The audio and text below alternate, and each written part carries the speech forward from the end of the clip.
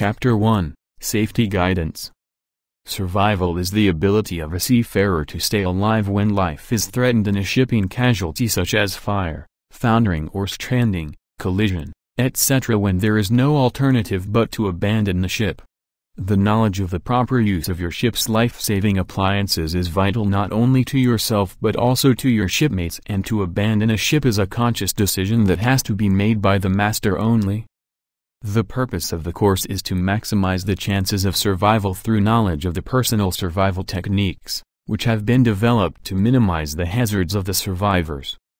Regardless of how near rescue services may be from the outset, survivors must take action to safeguard against the immediate threats to life. Having done so, survivors should then consider the next greatest threat and protect themselves against that until a sequence of priorities is established. Without proper planning, only the lucky will survive.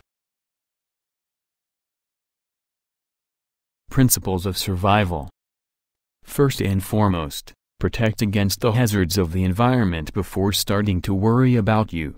For example, the correct use of distress signals. Thus it follows that protection has a higher priority than location. A person can survive many days without water and weeks without food. Both protection and location have higher priorities than food and water. Survival techniques are therefore considered under four main factors, protection, location, water and food remember, no one is a survivor until rescued. 1. Muster List The ship's muster shall prepare and maintain a muster list before the ship proceeds to sea. The formal of the muster list for a passenger SNP must be approved by the Department of Transport. On all ships reference should be made to the Cs and M notices listed above when muster lists are being compiled. The list must specify the general emergency alarm signal, seven or more short blasts followed by one long blast on the whistle supplemented by the electrical warning systems the action to be taken by crew and passengers on hearing the signal. Other emergency signals and action to be taken by the crew, for example man overboard. On passenger ships, the location of passenger muster stations. Usually these will be the public rooms, so as to protect passengers from the weather the name and rank of officers assigned to ensure that the life-saving and firefighting equipment are maintained in good condition and ready for immediate use. Substitute for key persons who may become disabled, taking into account that different types of emergencies may call for personnel with a variety of skills. The list shall show the duties assigned to individual crew members including closing watertight doors, fire doors, valves, scuppers, side scuttles, skylights and other similar openings. Equipping survival craft. Preparation and launching of survival craft CM-1207 Manning of survival craft which gives advice on the number of trained persons to be assigned to each survival craft station. Preparation of other LSA. Use of communication equipment manning of fire parties and special duties in respect to the use of firefighting equipment and installations.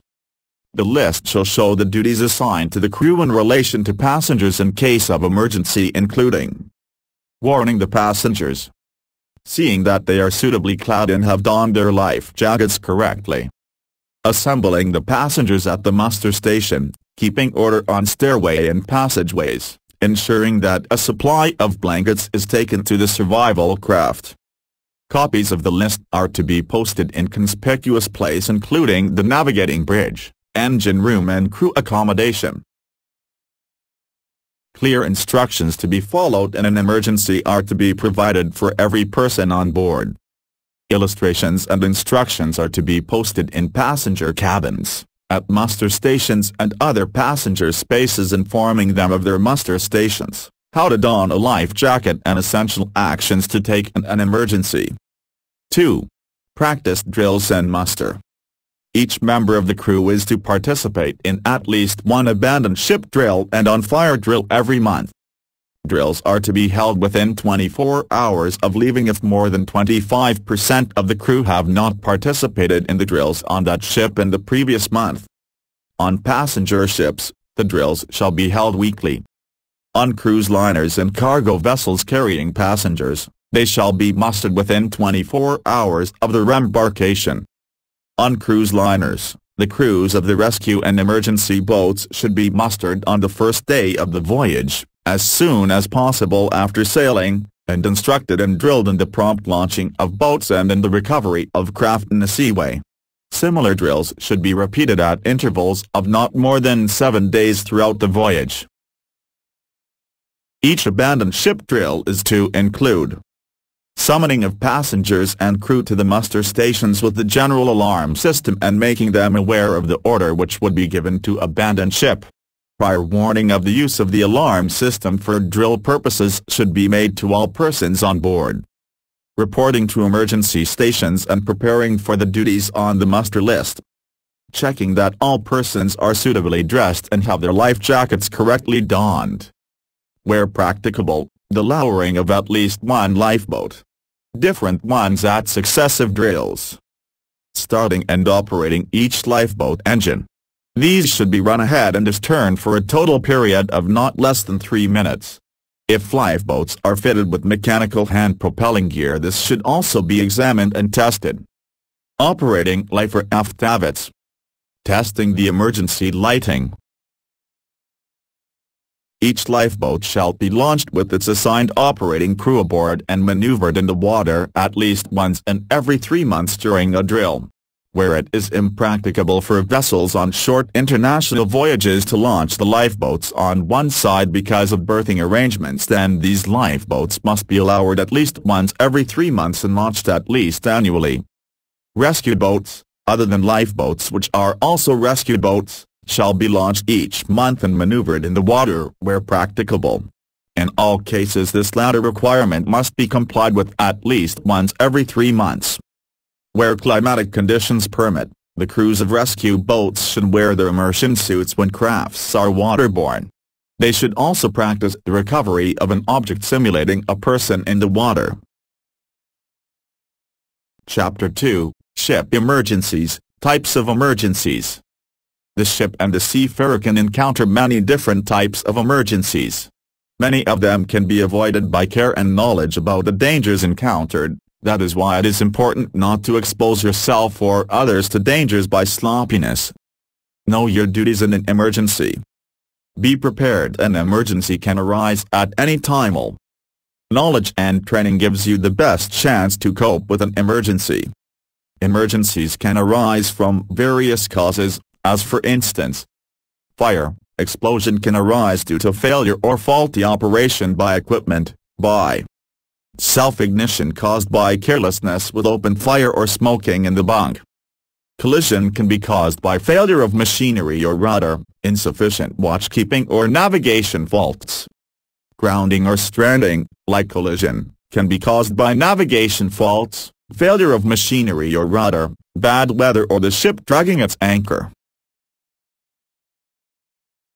Leakage occurs when the ship's hull, deck or hatches are damaged.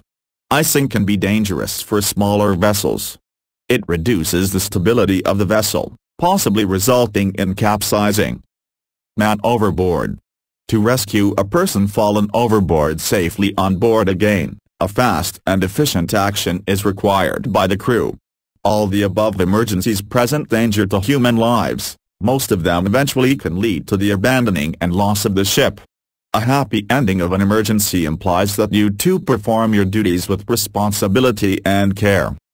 General Alarm the general emergency signal consists of seven or more short blasts followed by one long blast on the ship's whistle and is supplemented by the electrically operated bell or klaxon which is activated from the bridge or maybe at some other strategic point and consists of a continuous sound of such duration as to ensure that this has been heard even at the remotest corners of the vessel. On hearing such signal you must put on your life jacket and proceed to the muster station, unless you have been given specific duties that is closing watertight doors, screwing down ports, etc. However such signal does not mean abandon ship. Although the lifeboats must be prepared and lowered down to the embarkation deck they must not be boarded. The abandoned ship order is given verbally by the master through the public addresser and any available loudspeaker. After the abandoned ship order is given, lifeboats are lowered into the water and the lifting hooks disengaged. Ship the tillers. Each boat will now be attached to the ship by the toggle painter and any crew left aboard should now enter the boat by means of side ladders or lifeline. The boat should then be hove clear of the ship's side using the toggle painter and passing it aft, hauling on the inboard side, at the same time making use of the boat hook to fan the boat aft. After abandoning the ship it is best to row or start engine and when well clear of the ship, search for any survivors then join up with and make fast to any other survival craft and remain in the vicinity of the disaster area for at least 24 hours, as rescue vessels and planes will proceed to the distress call position. Muster Lists, General in order to cope with an emergency situation in the best way it is necessary having planned ahead. The plans are called the muster lists and comprise the boat muster lists and the fire muster lists respectively, and in certain ships there may also be a man overboard muster list. Out of consideration for your shipmates and yourself it is your duty to acquaint yourself thoroughly with the muster lists think especially of What is my task, do I understand what I do? Where do I have to appear? Where is the equipment to be used? Who gives the orders? To whom shall I report? What are the alarm signals of the ship? It is your duty to attend all musterings and drills. Your place on the muster list is either given by your profession, name, ship's number or room number. It is your duty to attend all musterings and drills. Your place on the muster list is either given by your profession, name, ship's number or room number lifeboat and fire muster list. Knowing the proper use of your ship's life-saving appliances is important for yourself and others if an emergency is arising. You can improve the knowledge you already have by participating in the drills, by going through the training manual now and then by being aware of all matters in your daily work concerning the safety of yourself and the ship. This part of the training manual is about the complete safety and just like your own attitude towards the safety on board it forms the basis of the complete safety. Notices called muster lists instructing each crew member what to do in an emergency shall be placed on board ships according to SOLAS. Among these notices are the lifeboat and fire muster lists and they can differ from ship to ship dependent on company. In addition, Lifeboat and fire muster lists will also differ dependent on type of ship and the size of the crew. There are certain general requirements to the contents of the lifeboat and fire muster lists and among these that they shall contain information as to when the alarm signals are used and how they sound. It is very important that all on board fully understand their tasks when an emergency occurs and this is why it is duty of every crew member to carefully study the lifeboat. And fire muster lists immediately after being mustered on board. To make sure that all on board constantly know their duties in an emergency, drills shall take place. It is during drills that things possibly not functioning quite according to the purpose shall be found and it is during drills you ask the questions you want to have answered. Remember. Ask while there is time to answer. During an emergency there is no time to answer questions. Remember, it is your duty to participate in the lifeboat, abandon ship, and fire drills and musters. Men overboard muster list. If a person fall overboard, it is important for his possibilities of survival that he is rescued on board again as fast as possible. The most frequent cause of death is not drowning but death caused by cold. To make sure that a person fallen overboard is rescued fast, especially man overboard muster lists mob muster lists are found in some ships. These muster lists involve only a small part of the crew which in case of an overboard fall can launch the rescue boat fast and save the person fallen overboard. A special rescue boat is found in some ships, in others the motor lifeboats is used. The man overboard muster lists should be placed near the lifeboat and fire muster lists. Men overboard muster list. If a person fall overboard, it is important for his possibilities of survival that he is rescued on board again as fast as possible. The most frequent cause of death is not drowning but death caused by cold. To make sure that a person fallen overboard is rescued fast, especially man overboard muster lists mob muster lists are found in some ships. These muster lists involve only a small part of the crew which in case of an overboard fall can launch the rescue boat fast and save the person fallen overboard. A special rescue boat is found in some ships, in others the motor lifeboats is used. The man overboard muster lists should be placed near the lifeboat and fire muster lists. Drills and instructions as it is most important that the crew is prepared to act correctly in any emergency it is necessary always to be aware of what could possibly lead to an accident. Because of that drills for various emergencies take place frequently and in order to supplement the drills with some more theoretical matter instruction are given about the various life-saving appliances. Safety notices and signals for the benefit various notices and signs are places at various locations on board, these can be notices about various rooms contents or contents of various containers and the like. Safety signs can be and should be divided into a system of mandatory signs, prohibition signs, warning signs, emergency signs and firefighting signs. These signs should be made in accordance with international standards and therefore where symbols, pictures and drawings are used in lieu of text, making them more easily understood by all nationalities. Practice of muster drills once a month but within 24 hours from sailing if more than 25% of the crew are repatriated. Each abandoned ship drill should include, 1. Summoning the crew and any passengers to the muster stations as specified in the preceding paragraph. 2. Reporting to stations and preparing for their duties. 3. Checking that they are suitably dressed. 4. Checking that life jackets are correctly donned. 5. Lowering at least one lifeboat after any necessary preparation for launching. 6. Starting and operating the engine. Different lifeboats to be lowered as successive drills. Drills to be, as far as practicable, conducted as if there were an actual emergency at least once every three months each lifeboat must be launched with its assigned operating crew aboard and maneuvered in the water. Crew to be lectured on procedures for launching the life rafts and of the use of the line-throwing apparatus and the pyrotechnics. Records The date and time of each drill to be recorded in all logbooks, bridge, R.T., engine fire and emergency signal. The life and emergency signal shall be continuous blast of the whistle for a period of not less than 10 seconds followed by a continuous ringing of the general alarm for not less than 10 seconds. Man overboard signal. The man overboard signal shall be the letter zero sounded several, at least four, times on the ship's whistle followed by the same signal on the general alarm. Abandon ship instructions. 1. All persons indicated in the diagram on the left should use lifeboat 2. All persons indicated in the diagram on the right should use lifeboat 1. 2. Any extra persons should muster at lifeboat 1. Signals.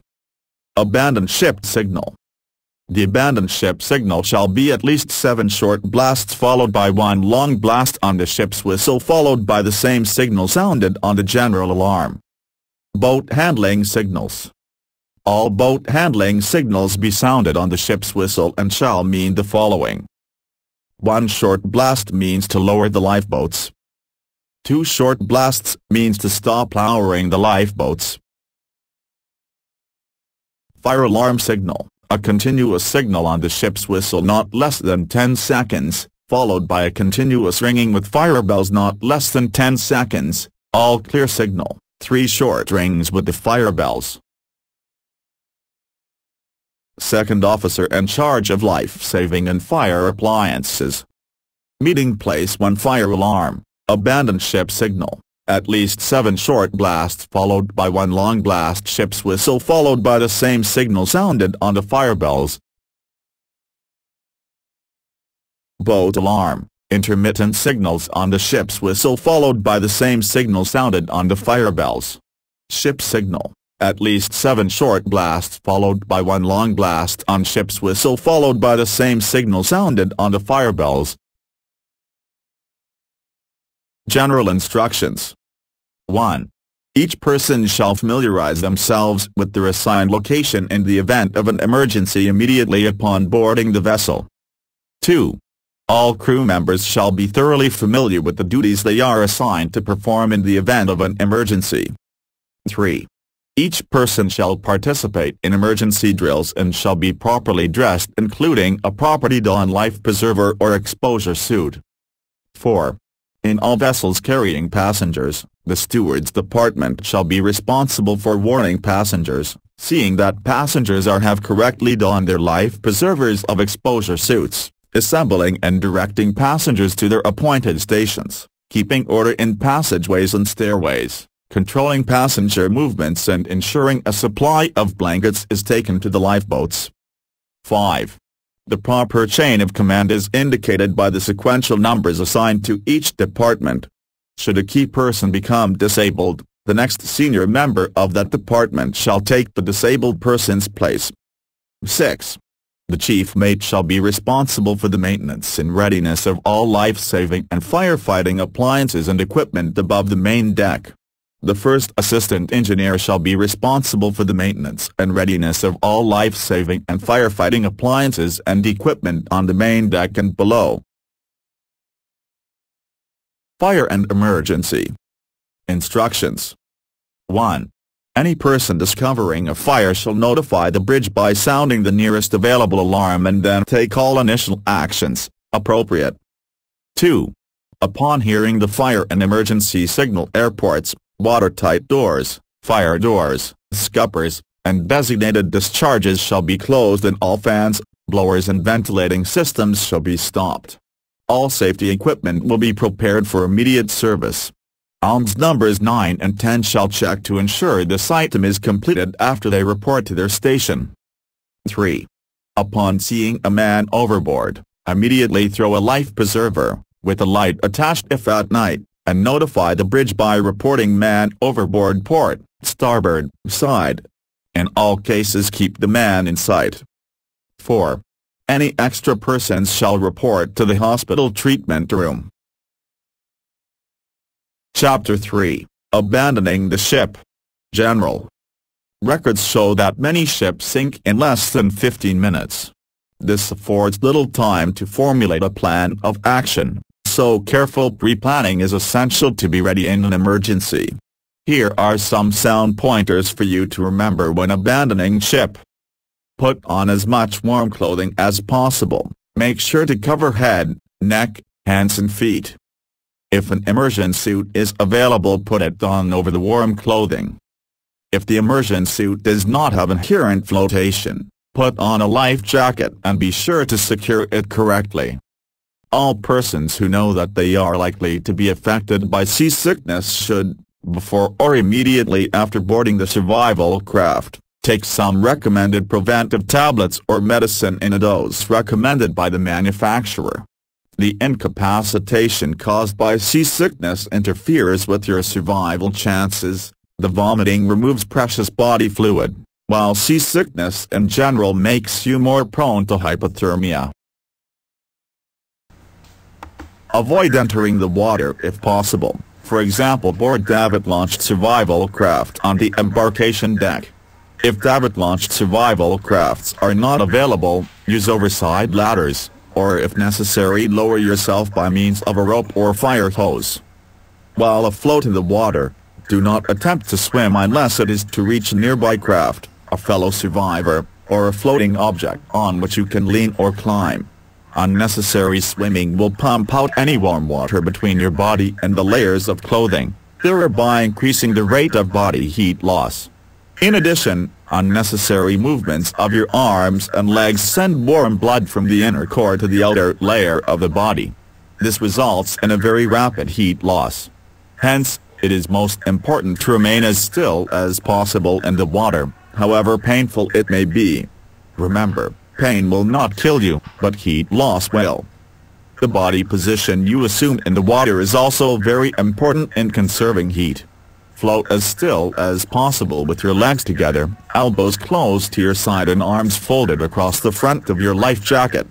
This position minimizes the exposure of the body surface to the cold water.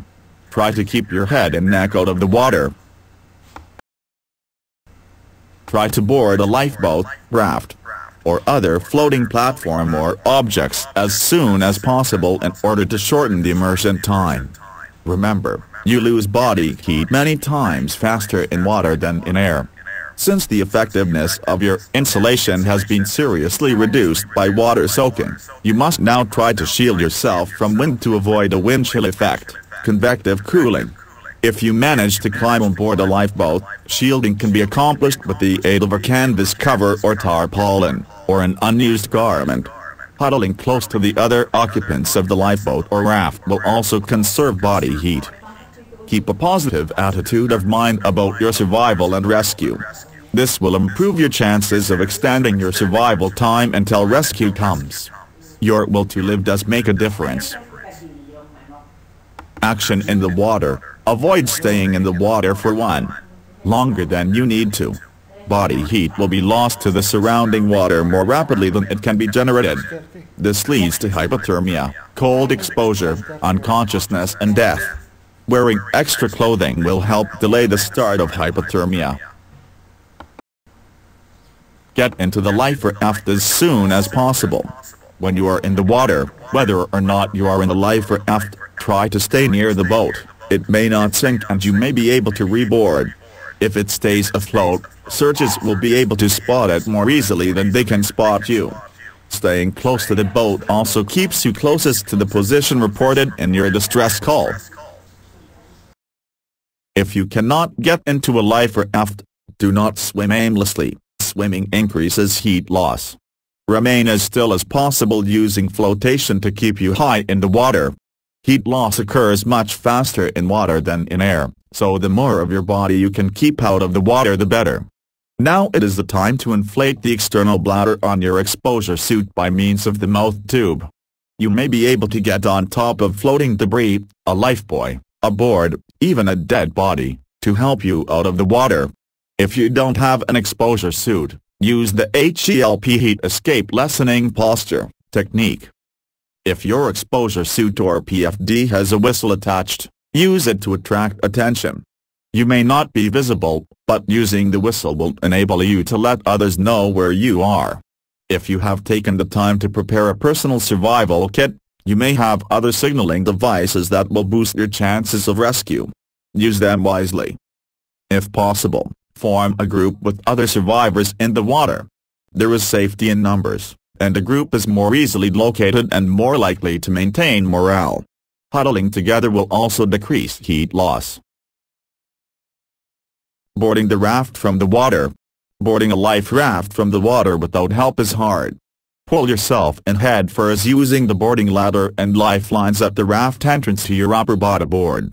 It may help to bob down and use the buoyancy tube. There should be internal lifelines to help you pull yourself all the way in.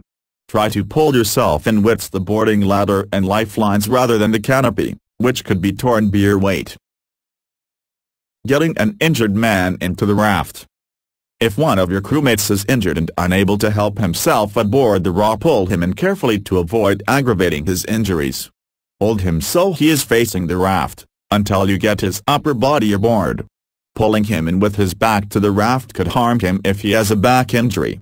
Once his hips are resting on the buoyancy tube, Gently turn him until he is on his back and pull him into the raft keep him lying on his back until you have determined the extent of his injuries. Righting a capsized draft. One person can easily right a capsized draft if it is done soon enough, before TTE canopy fills with water. Swim to the side marked right here. If there is no marking, go to the side winch the CO2 cylinder Maneuver the cylinder side of the raft so that it is downwindy. Then reach up and grab the righting strap. Strap by pulling yourself up into TTE raft. It may help kick your feet out as if swimming. If this doesn't work, try pull or see your feet or knees into the external lifelines. To help you pull yourself up on the raft. Some rafts may right while you are climbing onto them. If not, stand on the very edge, where the CO2 cylinder is located. Lean back with all your weight and pull on the righting strap. If the canopy is clear of the water, the raft will begin to follow you. If the raft is large, it will land on top of you unless you spring backwards just as the raft begins to right. If the raft is lined on top of you, don't panic. The bottom of the raft is soft and flexible and your head will form an air pocket. Stay face up, catch a breath of air and pull yourself out from underneath. If you try to swim out face down, your PFD or exposure suit could get hung up and make it difficult for you to get free. Righting a capsized raft with water trapped in the canopy. If the inverted canopy fills with water, the raft will be more difficult to right. Put as many people as you can on the righting strap and try to pull it over. If you still can't right it, you may have to cut a hole in the non-vulnerable part of the canopy, taking care not to deflate the canopy or the raft. Surviving aboard the life raft. If your boat is still afloat, remain secured to it unless fire or some other danger means that you must cut the painter. There are two good reasons for remaining attached to your boat. It may not sink, and as long as it remains afloat it is potential form of shelter. If it sinks in shallow water, it may serve as an anchor for the life raft. Staying close to your boat keeps you closest to your distress position and makes you easier to spot both visually and on radar. If you decide to cut the painter, use the safety knife stowed near the entrance. Its curved blade is designed to avoid accidental damage to the raft. If there is more than one raft in the water, tie them together with a doubled rescue line.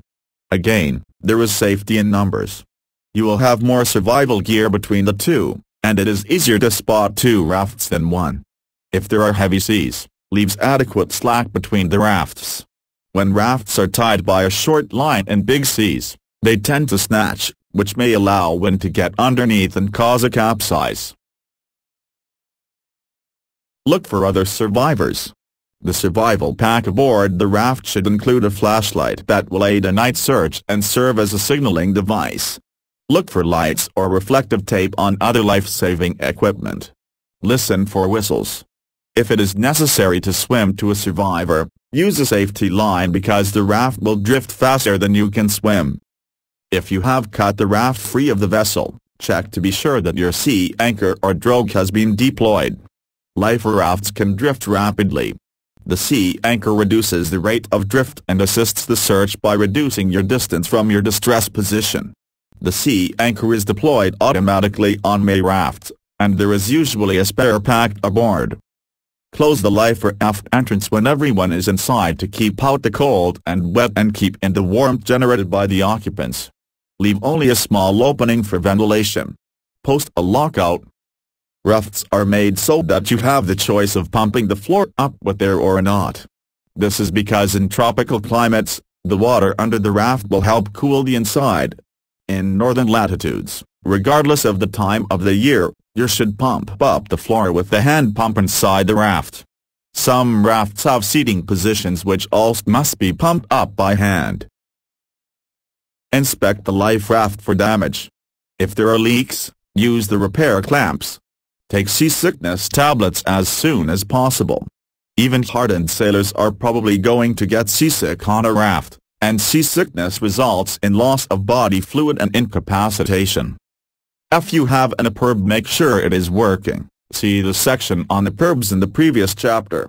Leave it on, don't switch it on and off or work the switch unnecessarily. If you have handheld VHF radio, transmit the distress messages to help rescuers home in on the signal. Any portable two-way radio available should be taken aboard the raft. Distress flares and rockets should be used sparingly, and only where there is likelihood of their being seen, See the section on visual distress signals. If they are sighted by a searching aircraft, it may be some time before rescue is at hand, but your location will be known. Treat all injuries. You must assess and treat injuries in accordance with the procedures outlined in the medical emergencies at sea, with one exception. You cannot perform the chest compressions required for cardiopulmonary resuscitation, CPR, because of the soft floor of the raft. A suggested method of performing chest compressions is to place the victim on his back, on top of another crewman. The man on the bottom wraps his arms around the victim's chest, locks his hands and performs the chest compressions as if he is giving a bear hug. Where crewmen are recovered from the water apparently drowned, mouth-to-mouth -mouth rescue breathing should be started immediately and continued until help arrives, or you are too exhausted to continue. In cold water, below 70 degree Fahrenheit, near-drowning victims have been revived after being submerged for as long as an hour because of a body response known as the mammalian diving reflex. It is the same response that enables whales and seals to remain underwater for long periods. Don't give up on a near-drowning victim. Initial situation in the life raft Immediately after abandoning ship and gaining the shelter of a life raft, survivors are likely to be cold, wet, exhausted, and suffering from varying degrees of shock. Mental and slash or physical letdown leading to collapse is likely at this stage, but you must maintain your self-control and your will to live if you are going to survive. At this point, you will be faced with multiple problems and you must decide the order in which you deal with them. Inventory and shelter are high priorities, you must be sure that all survivors have found the life raft, and make it a real shelter by insulating it against the cold. You must treat serious injuries and seek to prevent seasickness. And you should examine the equipment and supplies carried aboard the life raft, and read the instructions for their use. If there are enough hands, several actions may be accomplished simultaneously. You must establish the priorities keeping in mind the seven steps. Remember that cold is the greatest killer. Every attempt should be made to pump or call out the life raft and to dry out the interior by using the sponges provided in the survival pack, extra clothing, etc. If your clothing is wet, remove it, wiring it out as dry as possible and put it back on. In general, clothing should be shared among the survivors, but take special care of the sick and injured. Waterproof or windproof clothing should be made available to those on lookout duty in the open. Once the life raft has been dried out as much as possible, make every effort to raise the body temperature of the survivors. This is vital in cold weather or when survivors have had prolonged immersion in the water. Keeping dry also helps guard against immersion foot, also known as trench foot. Close the canopy entrances, inflate the floor and have the survivors huddled together for warmth. The body heat of the occupants will raise the temperature inside the rafter and maintain it. Tests in sub-zero temperatures have shown that the temperature inside a life raft can be raised to 60 degrees Fahrenheit, inside an hour. Leadership and morale Good leadership and high morale are crucial for survival. Good leadership creates high morale, and the leader must take on the responsibility of keeping the other survivors as organized, calm and comfortable as possible. The vessel's officer will normally be the leader aboard the raft, unless he is injured or missing. In some survival circumstances, however, unlikely leaders emerge. The leader should be the person who is in the best physical and emotional shape to establish priorities and maintain morale. If you are in charge, it is important for you to communicate with the other survivors. You must reassure them and assess who is best able to carry out vital tasks. Do everything you can to reduce fear and panic. Use the materials in the life raft to show the survivors that there is shelter, means of signaling, water and food. Try to establish a sense of companionship and a firm but positive level of discipline. If you must deal with someone who has lost his emotional control, don't let him disrupt the rest of the crew. It may help to give him a nameless task. One survival instructor suggests rigging a fishing line with the weight end over the side and instructing the man to catch a fish. While the leader has the greatest responsibility, each survivor must strive to maintain a positive attitude and carry out the tasks which he is assigned. The survival of the group depends on each man's contribution, and it is here that preparation and training pay off. A man who has foreknowledge of survival procedures and can focus his mind on constructive tasks is much more likely to make a positive contribution than one who has only his panic for company. In striving to maintain morale, don't forget that one of the seven steps is play. Establish the routine. The discipline of a routine not only helps ensure that vital tasks get done, but helps focus attention on the positive work of survival. The following suggestions should help you establish a routine. Assign one-hour watches in pairs, with one man on duty outside and one man on duty inside. 1. Outside. A. Look for ships, survivors, aircraft and useful wreckage. B. Flash the signaling mirror all around the horizon when there is sunshine. Someone else can see your mirror before you can see them. C. Look for a land. At night, listen for surf. 2. Inside. A. Maintain the life raft, bailing, drying, ventilation, etc. B. Attend to injury victims. Maintain equipment. Keep rations. Keep the minds of the survivors occupied during waking hours, but don't overdo it. Avoid unnecessary work. Water use. Your body is about 70% water. Maintaining your body's water balance is a prime requirement for survival. Remember that water is a higher priority than food. You can probably live for weeks without food, but your survival will be measured in days if you have no water because the digestion of food drains needed water from your body. Don't eat if you don't have any drinking water. Every bit of water you conserve, even perspiration, increases your survival time. While conserving water is vital, however, so is maintaining enough physical strength to cope with the ordeal of survival. Survival experts recommend that you begin drinking rationed quantities of water soon after boarding the life raft the amount depending upon how much you have been able to bring aboard. They suggest drinking one half of the daily ration at a time, rather than sipping very small quantities. Thirst may be reduced by chewing on gum, or practically anything else. However, this relief does not reduce the body's need for water. Drinking seawater will exaggerate thirst, promote water loss through the kidneys and intestines and shorten your survival time. Under conditions of lack of water, urine is too toxic to drink and will also cut down your survival time. Alcohol will promote heat loss through the skin and water loss through the kidneys. Drinking alcohol under the conditions of lack of water is suicidal. Lash down all gear so that in case the raft capsizes or is swamped, nothing is lost. If a metal radar reflector has not been supplied, metal paddles can be used to reflect radar signals, but a raft is never a good radar target. Recovering survivors in a raft usually depends on visual sighting. Never waste your distress signals, flashlight batteries, etc. Distress signals should only be used with the permission of the leader, and only when there is a reasonable chance that they will be seen. Use the whistle and shout in thick weather. Use the sea anchor or drogue. Your life raft should have a sea anchor or drogue, which is used to reduce the rate of drift away from the distress position, and thereby reduce the likely search area.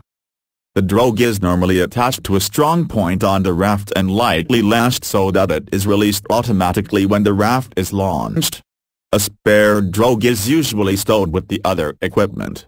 It is essential to use the drogue continuously, hence the drogue and its lines should be inspected frequently. By varying the point of attachment, the drogue can be used to alter the position of the raft opening relative to the seas. The drogue can thus help you gain more shelter, or better ventilation. If both drogues and the life raft have been lost, every attempt should be made to jury-rig another using whatever is available on the raft, for example, paddles tied to life jackets discarded clothing or a pair of trousers with legs tied and the waist held open. You may be able to use the section of the raft canister if it has been retained. Or a temporary drogue can be made using two buckets and a heaving line. With the bight of heaving line inboard, make and fast to the handle of a bucket, and around the bucket, for safety, and pay out one bucket on each bow. Until recently, life raft drogues have not been rigged with tripping lines, although such lines are now being installed on Coast Guard-approved rafts. If there is no trip line and you need to increase your rate of drift, to clear obstacles to reach a landfall, for example, the life raft must be hauled up to the drogue, which must then be removed from the water. Chapter 4 Personal Life-Saving Appliances The personal life-saving appliances may be divided into three groups. Lifebuoys Life jackets Survival suits Lifebuoys There should be a certain number of lifebuoys on the platforms. The buoys should be made of a solid buoyant agent. A lifeline should be fixed round the buoy to make it easier for the person in distress to hold onto it. All approved buoys should be either white and red or orange colored, carry a reflecting band and the identification of the installation or ship. Some of the buoys carry a self-exhibiting buoy light which will burn for at least 45 minutes. The buoys may also be equipped with buoyant lines and or self-functioning lights and smoke signals. The smoke signals emit an orange-colored smoke for at least 15 minutes after the buoy has hit the sea. You enter the lifebuoy by putting both hands on the buoy and pressing it down and away from you so that it tilt over your head. Then place the buoy under your arms and wait for assistance. Stay calm. This will reduce the heat loss. If you throw it so that he can first seize the line, this is the easiest way. On drilling vessels and other mobile installations there should be at least eight lifebuoys equipped with approved buoy lights and smoke signals. The line fixed to the lifebuoy should be at least twice the distance from the sea surface to the platform deck when the latter is in its highest position. General requirements and specifications, for lifebuoys, passenger and cargo ships. Lifebuoys should be so distributed that they are readily available on both sides of the ship and as practicable on all open decks extending to the ship's side. At least one should be placed in the vicinity of the stern. They should be stowed so that they are capable of being cast loose and not permanently secured in any way. At least one lifebuoy on each side of the vessel should be fitted with a buoyant line, equal in length to not less than twice the height at which it is stowed above the water line in the lightest seagoing condition, or 30 meters, whichever is the greater. Not less than one-half of the total number of lifebuoys should be provided with self-igniting lights and not less than two of these should also be provided with self-activating smoke signals and capable of quick release from the navigation bridge. These lifebuoys should be equally distributed on either side of the ship and should not be the lifebuoys previously stated with buoyant lines. Each lifebuoy shall be marked in block capitals of the Roman alphabet with the name and port of registry of the ship on which it is carried.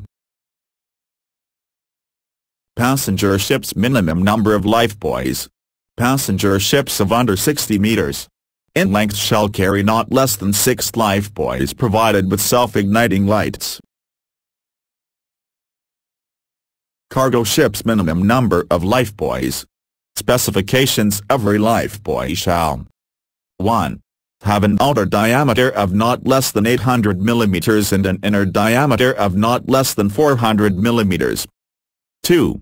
Be constructed of inherently buoyant material, it shall not depend on rushes, cork shavings or granulated cork, any other loose granulated materials or any air compartment which depends on inflation for buoyancy. 3. Be capable of supporting not less than 14.5 kilograms of iron in fresh water for a period of 24 hours. 4. Have a mass of not less than 2.5 kilograms. 5 not sustain burning or melting after being totally enveloped in a fire for a period of 2 seconds. 6.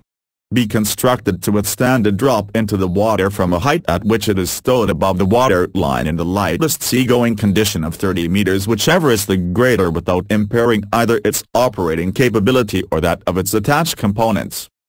7. If it is intended to operate the quick-release arrangement provided for the self-activated smoke signals and self-igniting lights, have a mass sufficient to operate the quick-release arrangement or 4 kilograms. Whichever is the greater. 8. Be fitted with a grab line not less than 9.5 mm in diameter and not less than 4 times the outside diameter of the body of the buoy in length. The grab line shall be secured at four equidistant points around the circumference of the buoys to form four equal loops. Lifebuoy Self-Igniting Lights As required by the regulations, self-igniting lifebuoys lights shall a. Be such that they cannot be extinguished by water. b be capable of burning continuously with a luminous intensity of not less than 2 cd in all directions of the upper hemisphere or flashing at a rate of not less than 50 flashes per minute with at least the corresponding effective luminous intensity.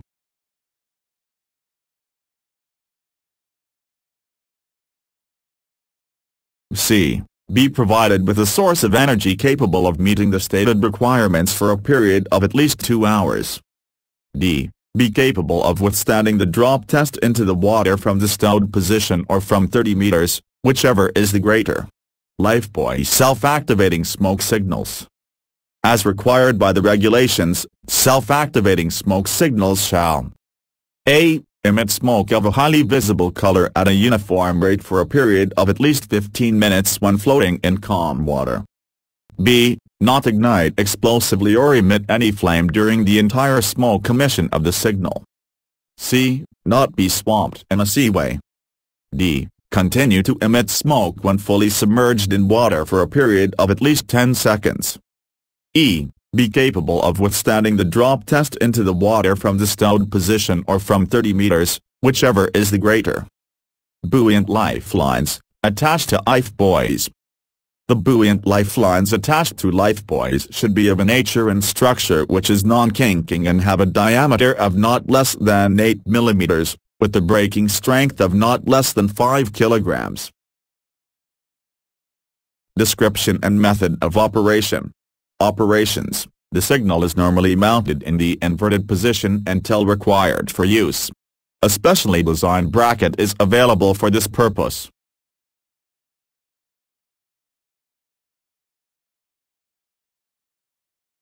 1. At least one lifebuoy on each side must be equipped with a line. 2. At least one half of the number of lifebuoys must be provided with self-igniting light for a period of at least two hours. 3. At least two of the lifebuoys provided with self-igniting lights also have to be provided with a self-activating smoke signal emitting a smoke of distinctly visible color for a period of at least 15 minutes. It must be easy to release the lifebuoys from the bridge. Most ships have a combines light and smoke buoys, a so-called man-overboard buoy. 4. At least two lifebuoys must be provided with a float, a pole and a marking flag.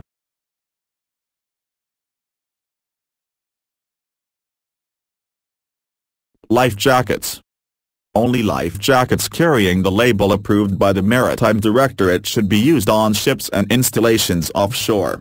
The label guarantees that the life jacket complies with quality requirements for example that the buoyant agent is made of a solid foam materials which is not ruined or damaged by seawater, oil or changing temperatures. The buoyant agent should be placed so as to bring an unconscious person into a correct floating position. In calm water the mouth should be at least 12 centimeters above the surface of the water. The life jacket should have an easily visible color and be marked with manufacturer symbols. The design must be of type that makes it difficult to put on in wrong way. It must be equipped with light-reflecting agents, a security fixed whistle and straps to tie it to the body. There should be at least one life jacket for every person on board equally distributed to each lifeboat station.